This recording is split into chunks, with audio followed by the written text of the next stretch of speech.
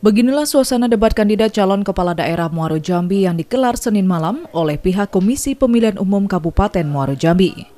Debat kandidat yang berlangsung di Gedung Serbaguna Muaro Jambi tersebut dimoderatori oleh presenter TV nasional Yaumi Fitri. Pada sesi pertama debat, empat pasangan Cakada Muaro Jambi diberikan kesempatan untuk memaparkan program kerja yang akan dilaksanakan jika terpilih nantinya. Calon independen nomor urut 1 Abuniani Suharyanto dalam pemaparannya menyampaikan salah satu program yang akan mereka laksanakan adalah menyediakan dana 1 miliar untuk satu desa. Abuniani dan Suharyanto juga akan berupaya menarik investor masuk ke Muaro Jambi serta memberantas praktik pungutan liar. Insya Allah marilah kita tingkatkan, mewujudkan, mempercepat pembangunan dari desa, dari desa melalui uh, program satu miliar satu desa berasaskan rasa sayang dan cinta. Insya Allah kita tingkatkan perekonomian masyarakat di semua lini. Yang ketiga, Muara Jambi aman dan adil.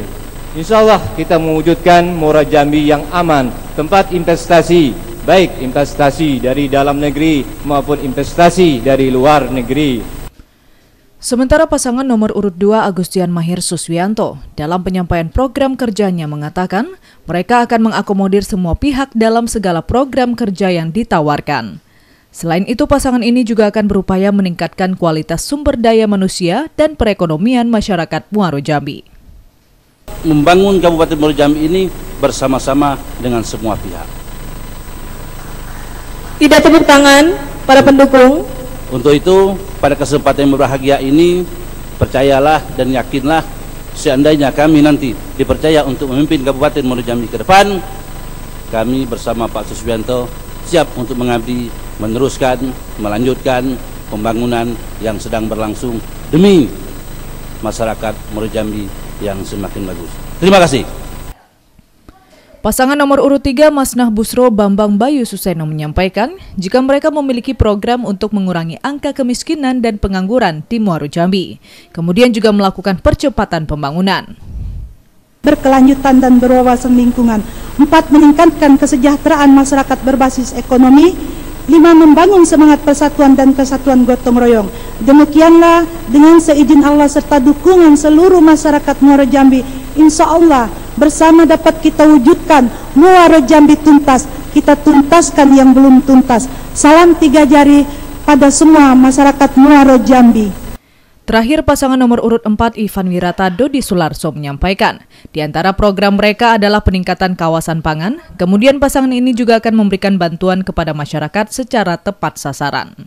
Visi untuk mewujudkan kesetaraan infrastruktur dasar dan pelayanan umum yang berkualitas, merata, tepat guna, dan tepat sasaran. Dua, mewujudkan aparatur pemerintahan yang baik, transparan, terbuka, memberi pelayanan publik secara prima dengan reward and punishment. Dan mewujudkan pembangunan ekonomi kerakyatan terintegrasi dari hulu sampai hilir bebas dari KKN. Debat sempat memanas saat pertanyaan Agustian Mahir dan Suswianto menjadi ajang saling sindir. Agustian Mahir menanyakan bagaimana cara langkah agar jalan di Muaro Jambi mulus. Pertanyaan tersebut seolah menjadi kesempatan bagi pasangan calon lainnya untuk menyindir pemerintah yang lalu.